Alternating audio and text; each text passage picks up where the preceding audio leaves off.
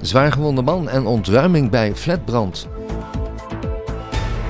Faunabescherming boos op illegale jachthutten. Zaterdag is de Nationale Popcorndag. Woonzorg voor mensen met dementie geopend. En illegale jachthut weg naar media-aandacht.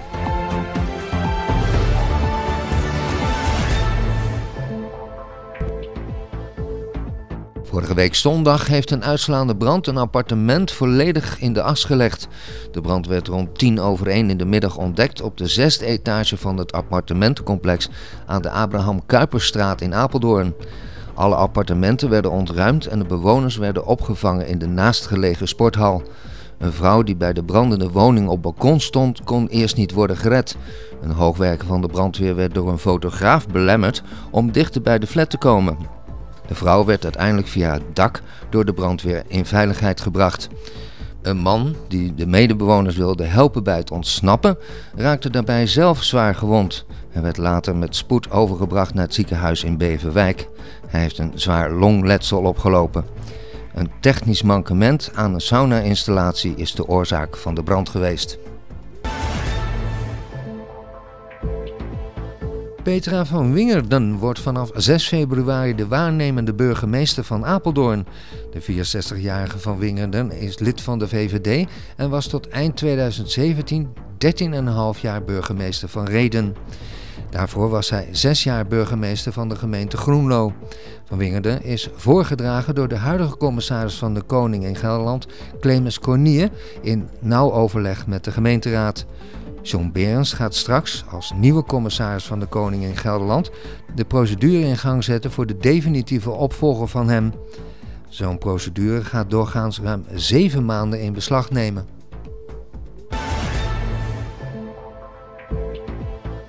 Een van de twee mannen die gewond geraakt is bij de brand in een appartementencomplex aan de Abraham Kuiperstraat in Apeldoorn is in levensgevaar en ligt in het ziekenhuis in Beverwijk. De man wilde zondag tijdens de brand mensen redden die zich op de bovenste verdieping begaven. De brandweer heeft de man daar weggehaald en hem naar een ambulance gebracht. De gewonde man werd naar het ziekenhuis in Apeldoorn gebracht. Zijn toestand verslechterde dermate dat hij met spoed naar Beverwijk werd overgebracht. Volgens de schoonzus van de man heeft hij een zwaar longletsel opgelopen en vecht nu voor zijn leven.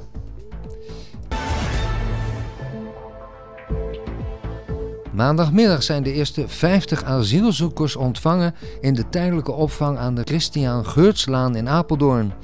Donderdag komen er nog eens 50 vluchtelingen daar tijdelijk te wonen. In de voorjaarsvakantie worden er 150 asielzoekers verwacht. In totaal kunnen er 400 mensen in dit AZC worden opgevangen.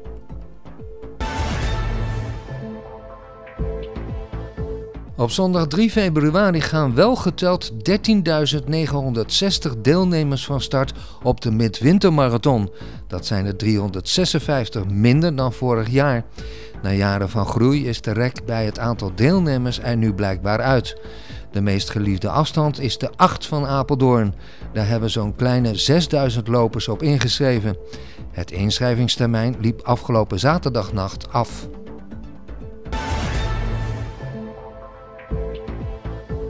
Dinsdagavond rond half negen werd er een 29-jarige man op een gewelddadige wijze beroofd.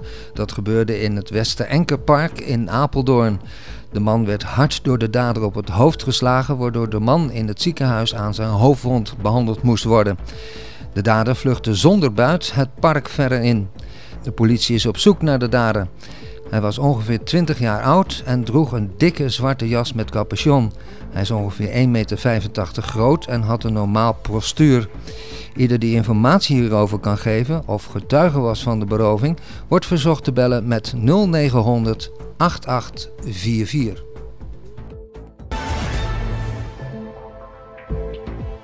De faunabescherming is verbijsterd dat er op de Veluwe een grote hoeveelheid jachthutten te vinden zijn. Hut bij het ecoduct Maanschoten vindt Harry Vos van de faunabescherming wel het toppunt en dieronterend. Wat we hier zien is het ecoduct, het ecoduct Maanschoten. Dat is uh, eind vorig jaar, ik, ik, dacht oktober is dat geopend voor, voor de dieren. En uh, daar gaan dus vooral zwijnen, maar zeker herten overheen, dagelijks. En ja, we, willen laten zien dat, dit, dat hier voor 8 miljoen euro is hier uh, geïnvesteerd voor dieren. Hè, voor onze biodiversiteit, voor onze mooie, mooie Veluwe, om de dieren meer ruimte te geven. En ja, dan hebben de jagers hebben de afgelopen jaren, toen ik hier dit ging bestuderen, hoe lang duurt dat, hoe gaat dat, heb ik een, uh, een jachthut ontdekt 200 meter voor dit gebied. En dan heb je hier een oploopgebied ook nog, dus het staat er bijna vlak pal voor. Nou, dat is wel, ik ken op de Veluwe heb ik 1200 jachthutten hoog zitten hebben we in, in, in beeld. Maar dit is wel de smerigste, de gemeenste die er is om voor 8 miljoen gemeenschapsgeld, om daar een, een hutje voor te zetten waar de, gewoon dieren langs heen moeten om hier te komen. Ja, sommigen gaan heel slim, die lopen om. die hebben misschien al geleerd. Maar de meeste gaan daar doorheen. En ik zal ze ook laten zien daar ter plekke bij die hut. Dat je ook de sporen ziet daar van de dieren. Dus dit is echt, ja, dit vind ik echt heel kwalijk. Vandaar ook dat ik uh, dat graag ernstig in beeld wil brengen. En wij zullen ook uh, Staatsbosbeheer, de provincie, de gemeente laten weten van dit is gaande wat doe je eraan? Tot grote verbazing van Harry Vos zijn verreweg de meeste jachthutten illegaal neergezet. We hebben al die hutten die wij eh, in beeld hebben. Daar, daar hebben we alleen in de gemeente Ede staan er een paar legaal. En voor de rest staan ze allemaal illegaal. En uh, ja, zouden ze gehandhaafd moeten worden en opgeruimd moeten worden. Maar ja, een volgende actie voor de hele, hele Veluwe. Maar waarom is er nooit wat eerder aan gedaan dan? Ja, uh, voor die hutten, daar, daar, daar, ben ik al een poosje mee bezig. Hè? Al een jaar of uh, 15, van vier, 2004 af al. En uh, wij zijn al wel bij gemeentes zijn we geweest. Epe onder andere, die heb ik al een paar weggehaald op, op mijn advies van dit staat er vals, daar moet wat gebeuren. Dus het gebeurt al wel. Ook op andere plekken wordt er illegaal gejaagd. Daar hebben de jagers andere lokmiddelen voor bedacht. Waar staan we nu, Harry? We staan onder een voerton. Een voerton met een zonnecollector eraan. Misschien wel met Europese subsidie, want overal krijg je subsidie op. De jagers zijn heus wel zo dat ze daar wel door anderen laten betalen. Daar zit een tijdklok op. Die tijdklok eh, schudt een paar keer per dag een paar korrels mais hier neer. En vooral de wilde zwijnen komen hier naartoe. En die worden dan, vooral in de avonduren tegen het schemer, dan zijn ze het actiefst eigenlijk, worden ze vanaf die hoog zit, tegen dat boompje aan daar, uh, worden ze hier ook gedood. Hè? Dus niet alleen bij dat, uh, dat huisje wat we eerder hebben bekeken, maar ook hier worden dieren gedood. Terwijl ze denken dat ze hier vrij rond kunnen lopen. Faunabescherming heeft bewust de media opgezocht om de illegale praktijken van de jagers bij een groot publiek onder de aandacht te brengen. Want, zeggen zij, wild hoort in de natuur beschermd te kunnen leven. Wij hopen gewoon dat door deze activiteiten en al die gegevens gaan dan ook richting de overheid, de provincie, staatsbosbeheer. ze moeten gewoon weten, dit kan niet. Je moet gewoon een rustige Veluwe krijgen. Je moet de toeristen of de Apeldoorners of wie ook mag noemen, die moeten gewoon gewoon als ze in het bos zijn, moeten ze gewoon wild kunnen genieten. En niet op onze manier dat we hier uren in het bos lopen. En gelukkig tien zwijnen hebben gezien. De mensen moeten gewoon erin gaan zeggen: Goh, mooi, we hebben wild gezien. En ze moeten gewoon niet meer schrikken. Ze moeten niet meer bang zijn voor het gevaar wat zij voelen aan een schot, aan uh, ja, jachtactiviteiten. Gewoon het bos uit met die gasten en genieten. Woensdagmiddag werd een winkeldief tijdens zijn vlucht verrast door passanten. Die overmeesterde de dief, die vermoedelijk bij Douglas aan de Hoofdstraat in Apeldoorn iets had gestolen. De verdachte verzette zich hevig, maar kon niet loskomen. De politie heeft de winkeldief aangehouden en naar het bureau meegenomen.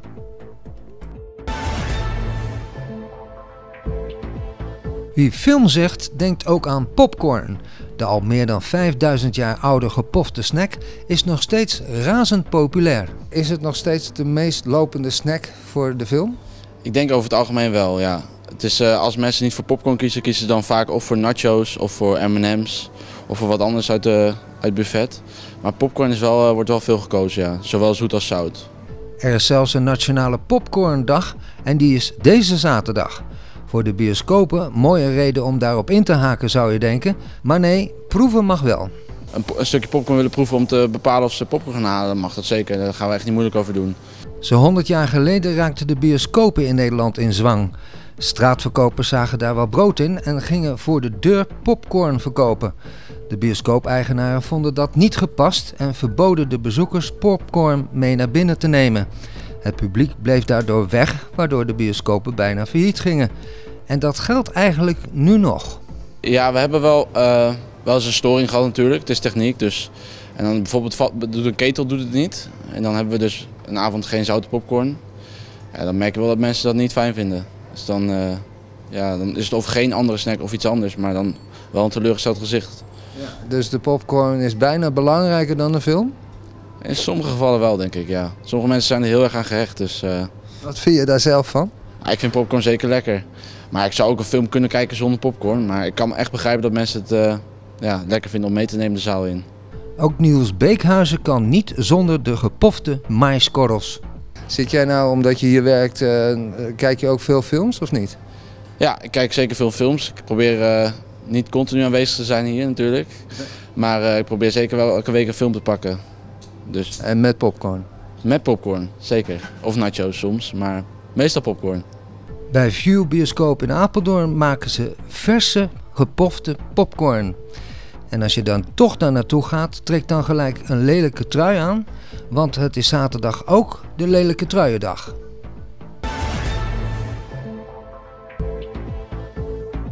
Vrijdag werd Woonzorg het Staatsliedenhuis aan de Ruis der Berenbroukstraat in Apeldoorn-Zuid feestelijk geopend.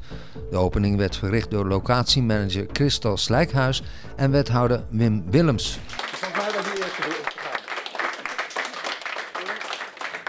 Ja, dat is. Nou, het staatsliedenhuis Het staatsliedenhuis biedt ruimte aan mensen die lijden aan dementie of een andere vorm van geheugenverlies. In het gloednieuwe pand zijn 21 woonruimtes gecreëerd en één logeerkamer. De mensen die hier komen wonen kunnen op permanente zorg rekenen. Wanneer komen de eerste bewoners? Uh, volgende week komen de eerste bewoners. Dus moet nog even, het hek moet nog eventjes uh, afgemaakt worden. En uh, nou ja, het is natuurlijk op dit moment een beetje koud om, om lang in de tuin te zitten. Maar de tuin moet nog het een en ander gedaan worden. Maar van binnen is het helemaal spik en span. Wethouder Willems vindt het staatsliedenhuis een aanwinst voor de gemeente. Nou, dit is natuurlijk fantastisch dat uiteindelijk als je nou ja, toch een beperking, zo wil ik het dan maar noemen, uh, toch een plek kan krijgen en toch het huiskameridee en dan gewoon in een woonwijk. Nou, dan denk ik dat dit hele mooie initiatieven zijn die bijdragen aan Apeldoorn.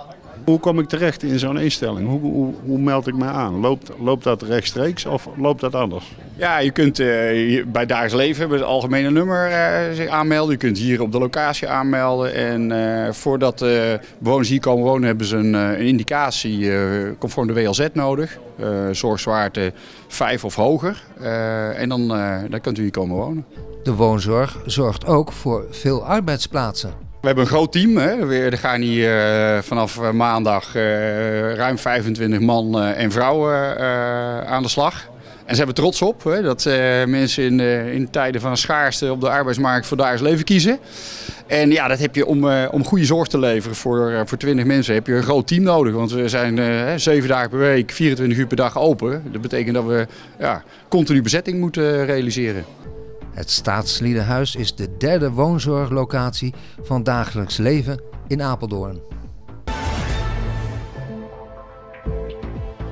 De jachthut die vlakbij het ecoduct Maanschoten stond is weggehaald. In het RTV Apeldoorn nieuws van woensdag lieten wij u weten dat de jachthut daar illegaal was neergezet.